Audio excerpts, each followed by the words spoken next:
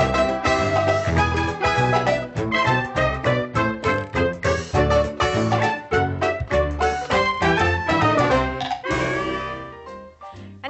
안녕하세요. 그때 그 날씨 윤유라입니다. 매서운 바람에 뼛속까지 시린 수요일입니다.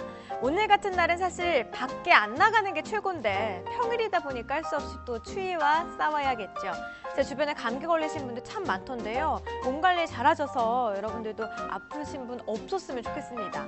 자, 오늘 그때 그 날씨는요. 1997년으로 시계바늘을 한번 돌려보도록 하겠습니다. 날씨부터 확인을 해봐야겠죠?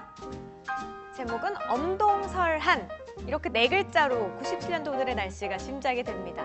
마치 오늘 같지 않았을까 싶은데요. 기온을 한번 자세하게 보여드릴게요. 네, 보이시죠? 서울이요. 영하 10도에서 영하 3도. 97년의 오늘이 오늘보다 더 추웠네요.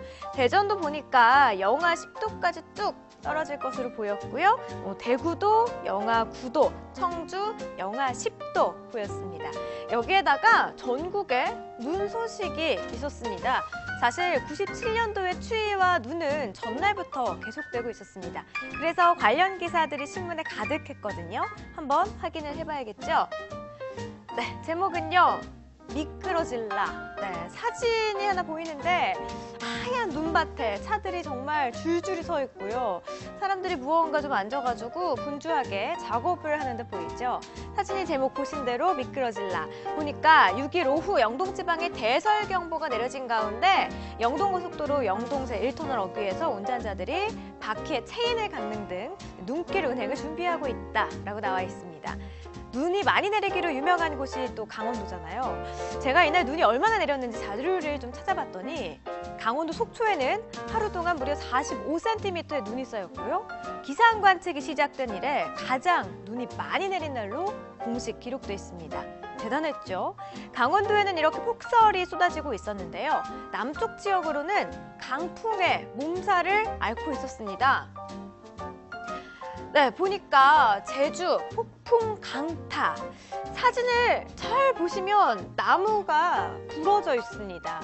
바람에 이렇게 나무가 잘라진 건데 97년도 어제 제주 부근 바다에는 폭풍주의보가 내려졌습니다.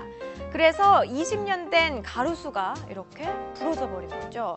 네, 두 장의 사진으로 그날의 상황이 이제 상상이 되는데 다음 기사 한번 보실까요? 자, 다음 기사는 폭설 이틀째. 네, 전국 피해 확산이라고 나와 있습니다. 자, 밑에 소제목도 보이는데 등산객 50명 고립, 여객기 발묶여 오늘 서울 아침 영하 10도. 눈 구경 나섰던 등산객들은 대피소에 고립이 되고 말았습니다. 그 밖에도 15,000평에 해당하는 비닐하우스가 눈에 무너지면서 하루 동안 1억 4천만 원의 재산 피해가 발생했다고 하네요.